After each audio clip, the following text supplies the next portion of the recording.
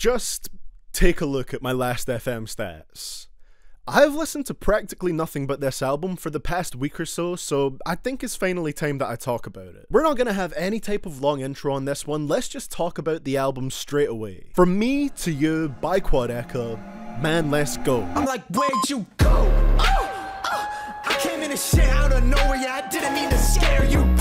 Let's start off with the way this thing sounds, because my first couple listens of this project were definitely mostly sound oriented. This is an insane step up from Quadeca's last project. Insane. Literally every time Quadeca puts out new music, it makes his older releases harder to listen to, and I mean that in the best way possible. Voice memos, I don't want to play with you anymore. Not to completely discredit voice memos, I still do like that project, but the flaws within it became a lot more noticeable in retrospect as Quadeca quickly improved. So let's actually dive into From Me to You and talk about where this improvement is apparent. When it comes to the production and the sound of the album, it's kind of like if you take A Dream I Can't Remember, one of the best songs from voice memos, one of my personal favourites on there, and you take the sort of building, dramatic, explosive explosive production a song like that has and make it 20 times more interesting, glitchy, and hard hitting and you have something that's pretty close to the From Me to You sound. And that is 100% a good thing. Like I said, A Dream I Can't Remember is one of my favourites from voice memos,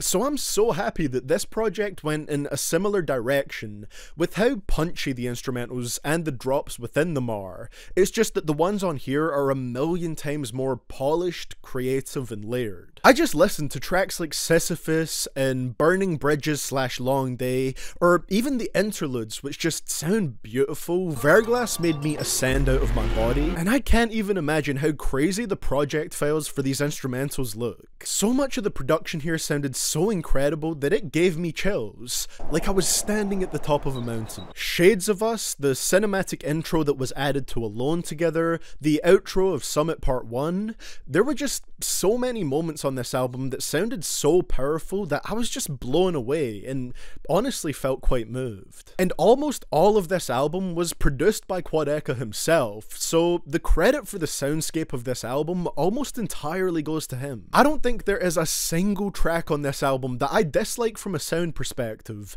Maybe the only one I didn't really care for was Can't You See, because that one just felt a little too slow to me, but even then, the production on it itself is still pretty nice. I just have not been this excited and engaged listening to any other album this year so far. The only other album in my album of the year contenders list so far for this year is Tyron by Slowthai. And for me personally, from Me to You beats that. On my first listen, every time I was nearing the end of a song, I had no clue what the one after it was gonna sound like, because the sounds and styles on here do have a good amount of variety, while still keeping consistent elements between the tracks like the glitchy drums that add this really nice texture to the instrumentals. It really nailed the sound of everything sounding beautiful and polished, but also having this juxtapositional roughness and aggression to it. Another thing that caught me off guard with this project was how solid pretty much all of the singing is across it. When Quadeca is singing his heart out on It's All a Game, that shit goes crazy, man. Smiling at the Ground has one of the catchiest hooks on the album too. That is the White Boy Summer anthem right there. Are we still doing White Boy Summer? Is that still a thing? It's one of those songs that I just find myself singing to myself all the time without even noticing that I'm doing it. And honestly, even just the rapping itself sounded a lot more confident and self-assured than it did on voice memos. I can't understate how great it is to just hear the immense growth that Quadeca has had year to year as an artist. There is a lot of significant improvements here, but there is one area of the music, a relatively small area of it, that I feel like is lagging just a little bit behind. And that for me is certain parts of the songwriting. I feel like his production has evolved so much that there's almost a bit of an incongruence between the maturity of Quadeca's production and the maturity of some of the lyricism, particularly what I'm talking about is the punchlines on some of the harder songs. Don't get me wrong, I'm not referring to the implementation of the concept within the songwriting here because I really like the concept and the mountain climbing metaphors that are just laced throughout the album. Like Sisyphus is a great example where the lyricism matches the maturity of the sound. But it's mainly the simile reference punchlines that I feel like feel a little out of place on a project that is such an artistic step up for Quadeca. There is still some wordplay that I enjoy and think is pretty smooth, like the whole baggage carry on thing that he did on Candles on Fire. That whole song is pretty solid lyrically. But it's more the one liners about anti vaxxers, Karens, and premium Snapchats that just take me out of the album a little bit for a second. For Me to You is my favourite album of the year so far, so obviously this isn't like a glaringly major issue. It's just what I think is a potential future area of improvement. When it comes to the concept and the mountain theme, I definitely need a couple more lessons to fully dive into it and look for all the Easter eggs and how everything ties together, but the lyrics that seem to be about a long distance relationship jumped out to me in particular on my first couple of lessons because, to paraphrase Logic, I can relate. Like we can relate. I'm actually recording this video a couple days after my girlfriend went back to Canada after spending six months with me here in Scotland.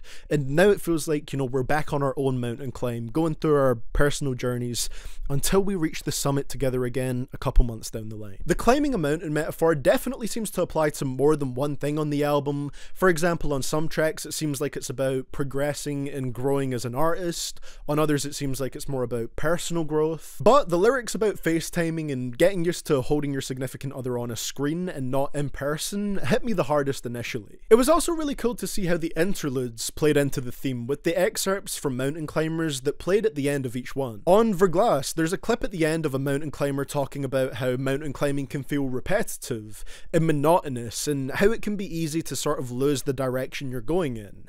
And that leads into Maybe Another Day, which reflects these exact same themes and ideas within Quadeca's day to day life. On Hallstatt, there's a mountain climber talking about how he gets withdrawal symptoms if he isn't constantly climbing, and that leads into Work, which is a song about constantly working. It's a really nice touch on here, and as someone that loves albums with a strong, cohesive concept, that's gonna keep me coming back to the album just as much as the impressive soundscapes will. I also really like how the end of the outro track loops back into the start of the intro track if you listen to the album like that. It kind of reminded me of Taboo by Denzel Curry, which did a similar thing to show the kind of cyclical nature of life. And I feel like it's a similar thing on this project, showing that no matter what, even after you reach the summit of your climb, there's always going to be another mountain that waits for you later down the line.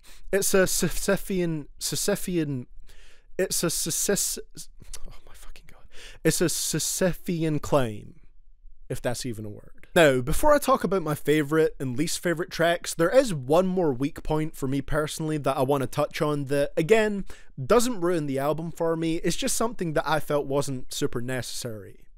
The features. They're all artists I like, IDK in particular. I love IDK's music, and he has great concept albums as well. But I feel like this project would run a lot more smoothly if no one else was on it. From Me to You just seems like such a personal project for Quadeca.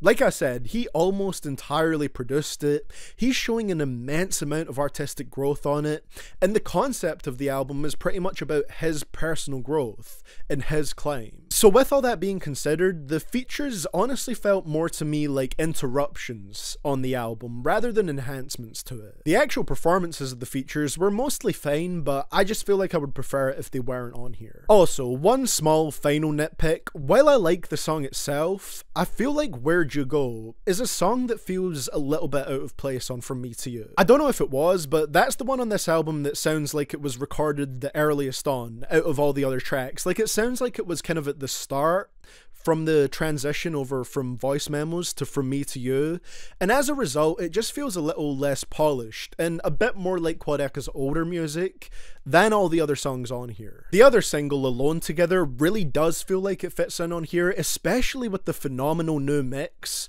which adds some more glitchy elements to the instrumental and cleans it up a bit. That sounds incredible, and Quadeca did a great job at changing that from the single and making it sound phenomenal. But Where'd You Go just feels a bit strange for me personally within this project, even with its new mix. But when it comes to the criticisms, that's pretty much where they end for me. I love this album a lot, and it's one I'm going to be replaying for the foreseeable future, and it will absolutely hold me over until Quadeca's next project. Favorite tracks on here were Sisyphus, Candles on Fire, Shades of Us, Smiling at the Ground, Alone Together, and It's All a Game.